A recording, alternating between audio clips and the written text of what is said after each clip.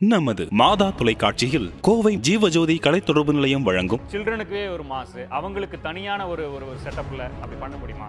Husband and wife கிட்ட போயிட்டு இருக்காங்கிறது கேள்விக்குறி தான் அன்னைக்கு இருந்த ஆர்வம் இன்னைக்கு இல்லையா?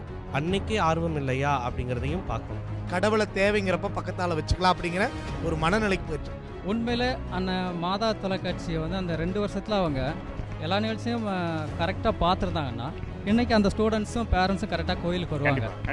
நமக்கு அதை ஆன்சர் பண்றது as a catechism டீச்சரும் as a priestங்கிறது ரொம்ப ரொம்ப கஷ்டமான ஒரு விஷயம். இது மாதா தொலைக்காட்சியின் அறம் செய்.